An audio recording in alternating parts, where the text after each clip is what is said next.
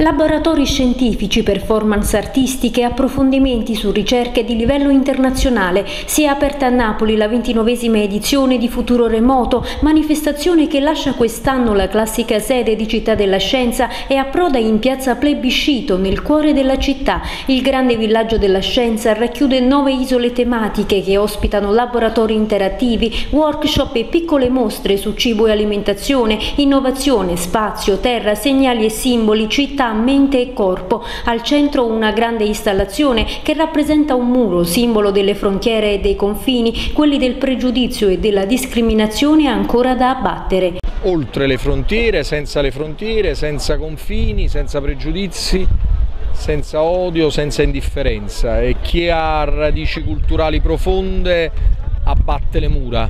Anche qui delle mura si sono abbattute, così come l'abbiamo fatto anche noi come Comune di Napoli nella giornata del rifugiato, credo che questo sia un messaggio importante, le mani delle differenze contro il muro dell'indifferenza. L'evento organizzato dalla Fondazione IDIS con l'Università Federico II e l'Ufficio Scolastico Regionale ha visto il coinvolgimento di 400 tra istituzioni, centri di ricerca, università, scuole e associazioni artistiche e culturali. Noi abbiamo fortemente contribuito all'utilizzo della piazza, riteniamo che la cultura in piazza sia il messaggio più forte per conoscere, per informarsi, per progettare il futuro, per incuriosirsi, per aprire la mente a nuove prospettive e anche per i giovani scegliere, quindi scegliere magari dove orientarsi. Il successo è stato enorme, basta girare e vedere tantissime istituzioni presenti, tantissime associazioni, tantissimo mondo del volontariato, penso un grande successo.